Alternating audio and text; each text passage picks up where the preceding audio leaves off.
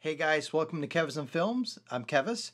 Today I want to walk you through how I calibrate my home theater and optimize it with Audyssey One Evo and generate a unbelievable great sounding home theater. Before I start, a couple of things. This is done via the Audyssey Editor app as well as REW and Obsessive Compulsive Audio's script called Evo 1 or Audyssey 1 Evo. The apps are free except for the Audyssey app. That's a $20 app download you can find at the iTunes stores. So, one of the important things that I try to follow is as you follow the prompts through the Audyssey Editor, Editor app, you'll connect to your Marantz receiver or Denon receiver, and you're going to select your speakers, your layout.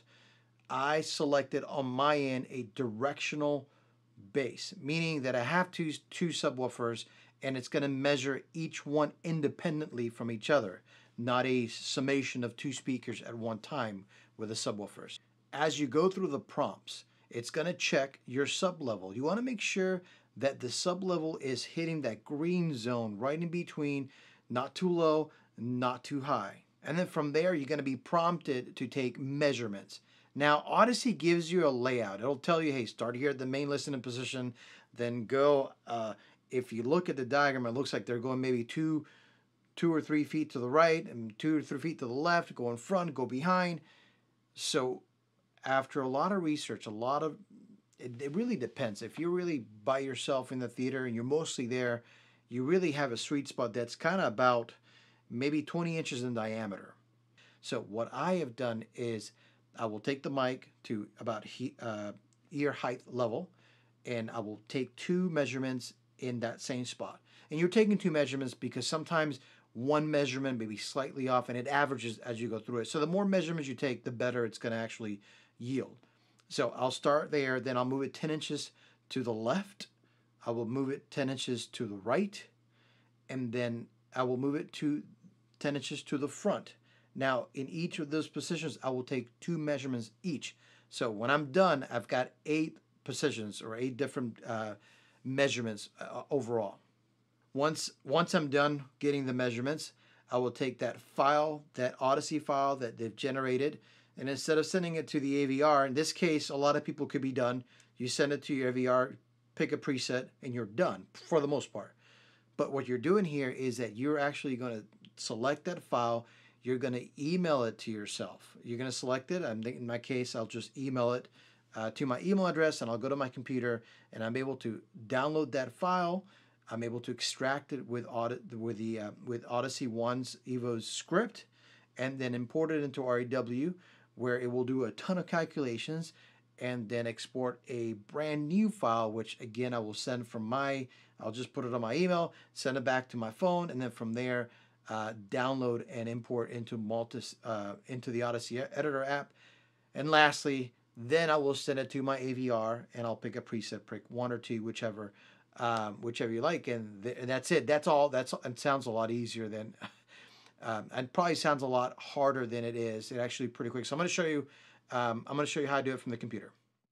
So the first thing you're going to want to do is go to YouTube and you're going to find obsessive compulsives um, audiophile his channel.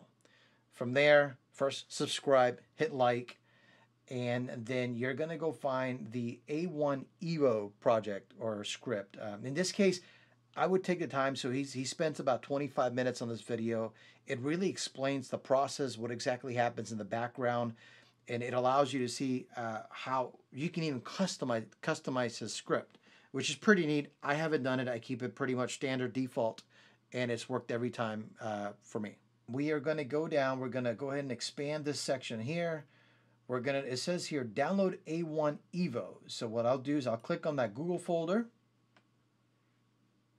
and it's going to bring up his, um, his, this is the script, it's the HTML. If you want to know exactly what's included, he updates it often.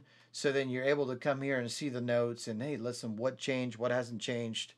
Um, so in this case, I'm going to click on, I'm going to right click on it. I'm going to download the script. It's going to take a second to download. There you go. It is there. I usually like to just grab my folder. I like to cut it, get it out of my downloads, and I will bring it to uh, a folder that I've created, in this case, sound calibration script, and I will paste it on there. So that's one thing. The other thing that you're going to need is REW. Um, in this case, you're going to have to go into REW. This it's avnirvana.com threads. REW API dash beta dash releases that dash sorry dot one two nine eight one, and you're going to want to click on the latest uh, beta release of REW. In this case, it is uh, 43, um, updated July 21st, so just updated a few days yesterday. So you're going to click that, you're going to download it, and then you are going to update your REW if you already have it, just update it to the latest beta, and from there it'll prompt you to open it up and it'll be ready for you to open it up.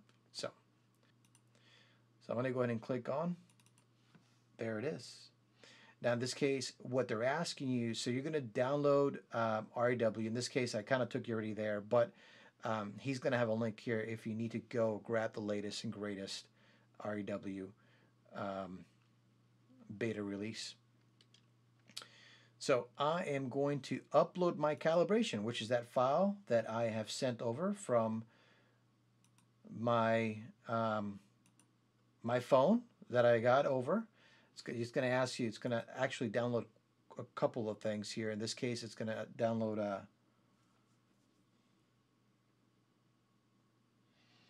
all right, so it's going to download your, it's basically, so at this point, what this is doing, it's extracting the measurements that the Audyssey editor app generated, and it is extracting for RW to be able to do its work. Okay, I'm going to go back here. So download it also. These are the extracted measurements. I'm going to go ahead and cut that out and I am going to paste it in my uh, sound calibration folder. I, I, try to keep everything together. It's usually a lot easier for me to find things. And then I'm also going to grab from the downloads. I should have grabbed it here, sorry. It's the Evo target curve as well. I'm going to cut that. And I'm going to bring it up here. All right. So I'm going to move this off to the side a little bit, guys. Give me a second right here. I'm going to go back to, now we're going to open REW. So it's been open. I'm going to go over to preferences and I'm going to make sure I'm going to go to view on the right tab here and what I do is I make sure based on some of those videos once you've done this I've done this quite a few times uh, I'm always looking around for his latest update and just making sure that I maybe I'm not missing out on anything um, I've been actually very, very happy for the last month. Like I've been using the last, I think mine was 2.3, uh, version 2.3, and it just sounds unbelievable. In this case, this is the latest version. So I'll go here and make sure that this is set to 300 for the maximum measurements. I'll go to the equalizer tab here and make sure that the filter calculation is not checked in for the drop filters if gain is small. Then you have to come over here to the API. If you don't do this part, it doesn't work because it's not. This will not be able to connect to the script. So you're going to start the server. API is running on port 4735, and then from there, I usually just come up here. You don't have to do this. I do because I don't have any mics. I don't have any files here. Um, I'm not measuring from here, so I just kind of delete all the files, make sure there's nothing on here. And I usually just minimize that and then the other thing that I'm going to do is I'm going to come up here to the EQ button and I am going to click on the target settings and then here I am going to upload. I'm going to go find the folder um, that I'm working on. I'm going to get to the folder I'm going to click on the target curve and I'm going to open it up. You'll see here this is now going to take this target curve and take the measurements that we've generated from the Audyssey editor app and follow the house curve. In this case, this would be, this is the house curve that I am using here. Subwoofer. Okay. And I am going to minimize this as well. Now, at this point, what I'm going to do now is I'm going to click on the extracted measurements. Uh, control A, and I'm going to drag everything to the folder. Kind of neat. Loads everything up. This out of the way, sorry. Loads all the measurements. So every measurement that I took in here has now, so the center channel would have had eight eight points, and then you would have gone to your front left, your front right. So it's it's a lot of measurements in here. Okay. So once I do that, and I'm not gonna, I'm gonna leave it here, my SPL and phase, and then I'm gonna go over to the script.